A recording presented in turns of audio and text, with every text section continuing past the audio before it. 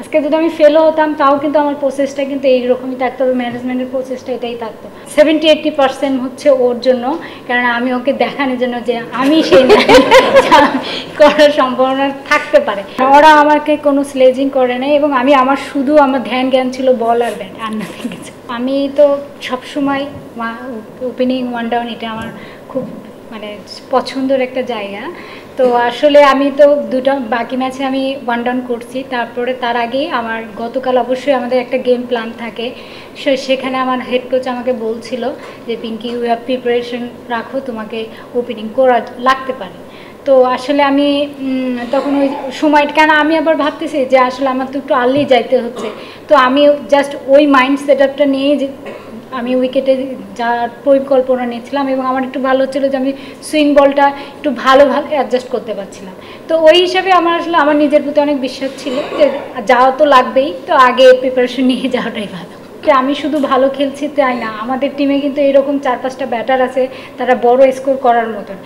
অবশ্যই একটা মেন্টালি আপনি এরকম বড় বড় টিমের সাথে খেলতে গেলে আপনি কিন্তু স্কিলফুল অনেক হইতে হবে এবং আপনি বল জাজ করাটা ভেরি ভেরি ইম্পর্টেন্ট তো আমাদের কোচ কোচ এবং ম্যানেজমেন্ট কিন্তু এই সব নিয়ে অনেক কাজ করতেছিল এবং ওই কাজের ফলে শেষে কিন্তু আজকে রেজাল্ট হচ্ছে বিধে আজকে খুব ভালো হয়েছে তা না কিন্তু। আজকে যদি আমি ফেলও হতাম, তাও কিন্তু আমার প্রসেসটা কিন্তু এইরকমই থাকতো ম্যানেজমেন্টের প্রসেসটা এটাই থাকতো।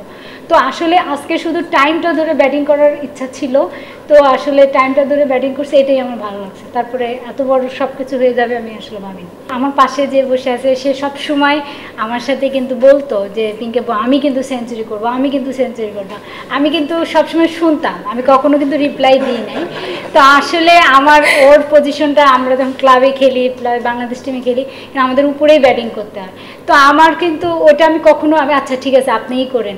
তো আসলে আমি এই যে আমার আজকে করাটার সেভেন্টি এইটটি পার্সেন্ট হচ্ছে ওর জন্য কারণ আমি ওকে দেখানোর জন্য যে আমি সেই করার সম্ভাবনা থাকতে পারে। তো, so আমার স্কিলের প্রতি অনেক বিশ্বাস ছিল, যেহেতু আমি ভালো শুরু পাচ্ছি, তো আমি ভাবছি যে যতদূর নেওয়া যায়। তো দিন শেষে আসলে হান্ড্রেডটা গেছে।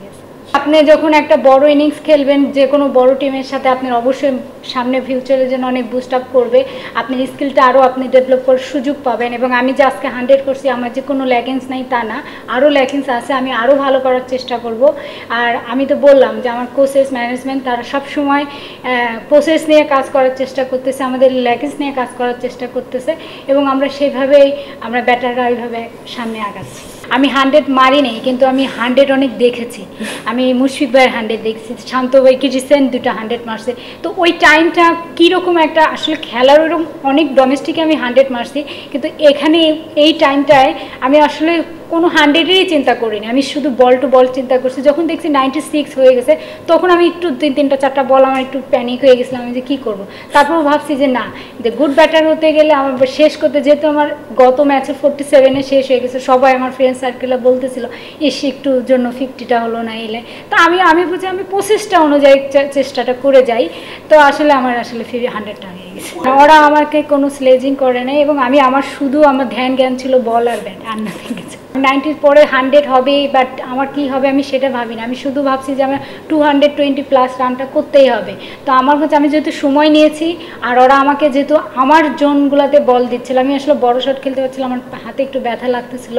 বাট আমি আমার বিশ্বাস ছিল যে আমি যদি ওই টাইমটাও যদি রিকভারি করে যদি আমি টিমের জন্য কিছু একটা করতে পারি, কারণ ওই টাইমে আমার চারের দরকার ছিল। তো তারপর আমার পার্টনারকে আমি বলব আমাকে অনেক ভালো সাপোর্ট দিছে যে বলছে না পিঙ্কাপু তুমি তুমি বল টু বল খেলে যাও, দেখো হান্ড্রেডও হবে তোমার প্লাস আমাদের একটা ভালো টোটাল হবে। তো ভাই, এটাই আমার প্ল্যান ছিল। আমাকে তো আর ডট কথা বলছেন ডট হোক বা ইনিংস হোক, আমার তো খেলতেই ভালো লাগে, আমি ডট নিয়ে তো চিন্তা করি না। কিন্তু এটা আমার, অবশ্যই টিমের মোমেন্টামে আমাকে ডটটা আরও কম করতে হবে বা মোমেন্টাম অনুযায়ী একটু ভালো ব্যাট করতে হবে।